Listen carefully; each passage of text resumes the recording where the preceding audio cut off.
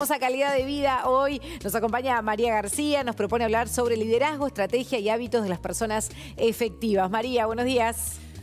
Buenos días, Nole. Buenos días a todos, amigos, bienvenidos. Tal cual, vamos a estar conversando con el ingeniero Guillermo Garrone, que además eres asesor de empresas hace mucho tiempo, ingeniero, pero además este, sabe mucho de comportamiento humano. Y me parece increíble eso de los ingenieros, nos parecen tan cuadrados, ¿no? Tan estructurados. ¿Cómo estás? Bienvenido. Muy bien, muchas gracias, María. Gusto. O sea que este, trabajando siempre en la empresa, pero también eh, creciendo porque las empresas están llenas de gente, en definitiva, ¿no? Y el capital hoy es ese, el capital humano. Cuando te das cuenta que el problema no son las máquinas, sino que somos las personas, ¿no? Que somos la solución y a veces el, problema.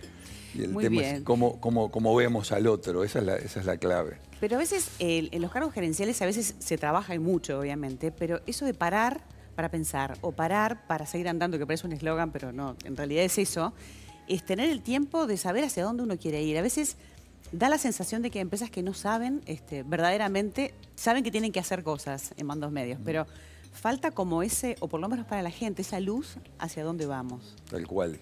Eh, es uno de los problemas más grandes que hay en el liderazgo, es el lograr el compromiso de la gente.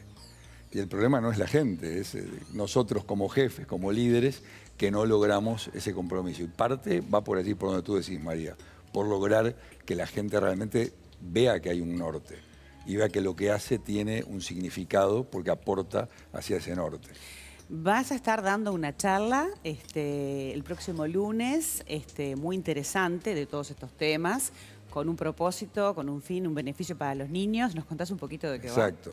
Es para América Solidaria, que es una organización que nuclea, es una red en realidad de voluntarios profesionales está trabajando en muchos países en América, pero concretamente en Uruguay está haciendo obras muy, muy interesantes.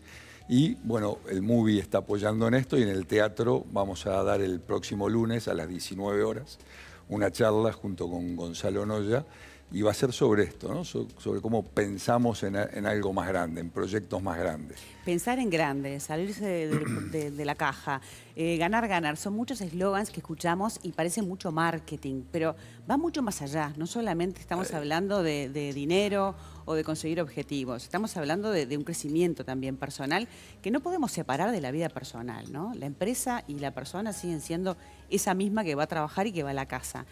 Cuando uno puede incorporar todo esto que ustedes enseñan, ¿uno verdaderamente cambia o es uno en la empresa y otro en la casa? Te cambia la vida y cuando vos estás bien, te relacionás bien con los otros en tu casa, con tus amigos y en el trabajo y lográs mejores resultados.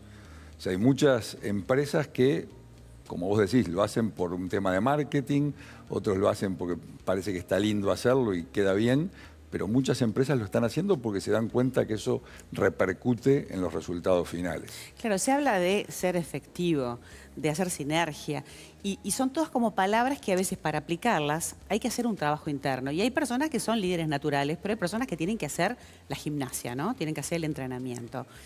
¿Es difícil, es fácil conseguirlo? ¿La gente está abierta a esto o de repente le parece como que es todo medio de los libros y más nada, ¿no? Es una necesidad que tenemos, porque nos vivimos relacionando con gente. Entonces, en la medida que uno aprenda cómo es la mejor forma de relacionarse con el otro, y es interesarte en el otro. O sea, no, no, no es nada complejo. Lo que hay que tener es la voluntad y el deseo y la convicción de hacerlo. O sea, que me estás hablando de empezarse a escuchar, por ejemplo. Por ejemplo. Pero escuchar en serio. Pero escuchar en serio, ¿no? Porque muchas veces yo te escucho y mientras tanto estoy con mi cabeza en lo que viene después. O en el WhatsApp. o en el WhatsApp. Entonces ese torbellino de la urgencia que, hoy nos invade está minando las relaciones. Entonces cuando yo realmente estoy aquí contigo y te estoy escuchando y estoy pensando en lo que estamos hablando, vos te das cuenta cuando yo estoy aquí y estoy pensando en las cosas que voy a hacer después y, y, mirando de reojo otra cosa, también te das cuenta y eso mata la relación. Claro, y además eh, trabajamos como apagando incendios, ¿no? Este, como pensando nada más que lo inminente, a corto plazo. Y a veces es necesario hacer las dos cosas, solucionar cosas que están pasando, pero también proyectarse. Em, ¿Cómo haces o qué, si tuviéramos que empezar ahora, por ejemplo, una charla y me dirías, bueno, ¿qué tips me das para que yo pueda empezar a practicar en mi vida y en mi trabajo? Bueno, para no tener incendios, los incendios de hoy son una consecuencia de decisiones que tomé ayer. Entonces, si yo mañana no quiero tener incendios, tengo que empezar a trabajar distinto hoy. trabajar distinto es tener ese norte claro. Igual que, que en una empresa o en un equipo, es en un individuo. Entonces, cuando yo tengo claro mi propósito, cuando sé a dónde voy, cuando yo digo, bueno, en 10 años quiero estar acá o en 5 años acá, yo sé lo que tengo que hacer de aquí a fin de año. Y ahí empiezo a saber decir que no a las cosas que no me llevan en esa dirección. Entonces tú sos mamá, esposa, hija, miembro de una comunidad, eh, integrante de un equipo. En cada uno de esos roles fijas las prioridades que querés tener.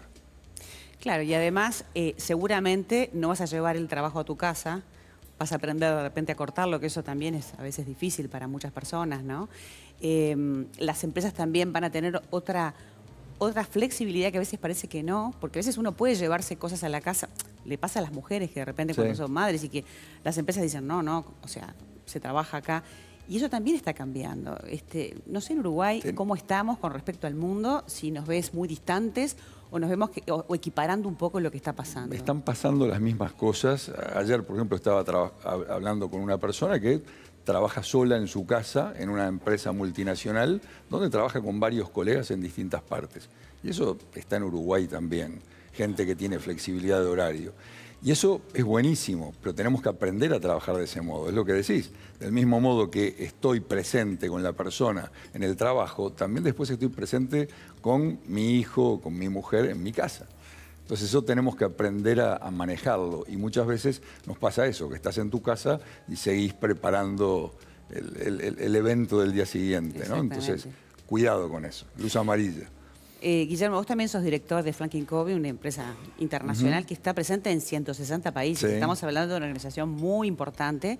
¿Da la sensación de que los problemas que tenemos acá son los mismos en el resto del planeta? asombra la similitud gigante que hay. Tú ves en, Vietnam, en Suecia, en una comunidad indígena, en una empresa pública, privada, chica, grande. Y son las mismas cosas, porque somos personas. Las personas sentimos la necesidad de ser valorados, trabajando en un equipo que gane, que cumpla con lo que dice que va a hacer, en un ambiente de alta confianza y hacer algo que tenga sentido. Esos cuatro elementos son la base que uno ve que se repite y pensalo en ti, pensalo en personas que conoces y, va por allí. Palabras clave, como se dice en coaching, que también ustedes manejan. Te quiero invitar a ti y también a todos ustedes a conocer un poquito el avance de lo que se viene el próximo domingo a las 9 de la mañana, nuestro programa Calidad de Vida.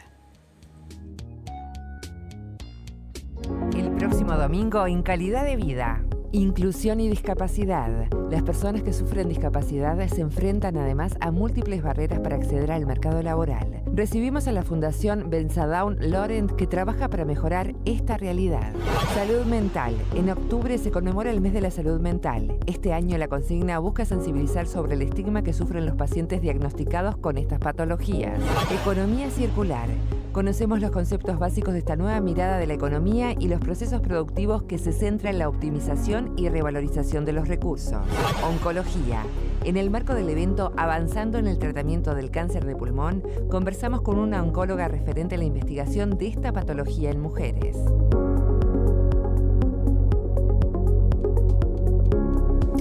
Bueno, este es el menú que tenemos para el próximo domingo a las 9 de la mañana. Este, me resta agradecerle a nuestro invitado, el ingeniero Guillermo Garrone, y resaltar eso que nos dijiste al final, ¿no? De, lo clave, de aprender a comunicarnos mejor, de, saber preguntar y saber escuchar.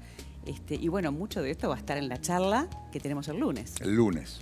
No te cuento más, así el lunes vas y, seguimos viendo estos temas. Me Lunes, Vamos a, recordar, eso está en Movie Center, 19 horas. se pueden comprar el ticket en el mismo Movie Center. boletería allí o por la web. ¿Cómo es la web? Eh, la web del movie. Bien, perfecto. A través de la web de, los tickets que se sacan en la web. exacto. Muy bien. Son 600 lugares y por lo que he escuchado ya hay están quedando bastantes pocas entradas. Buenísimo, buenísimo, porque hay una gran necesidad de poder aplicar todo esto y además aprendes algo que lo vas a aplicar, no solamente en tu trabajo, sino también en tu vida, y eso es bien Exacto. Y estamos ayudando a, los proyectos de niñez y adolescencia, así que eso es clave. Todo lo que se recaude va íntegramente para esta obra. Un placer estar acá con el ingeniero Guillermo Garrone. Muchas gracias, Buen fin de semana. Los voy a dejar con consejos eh, para mejorar la salud capilar en TRC.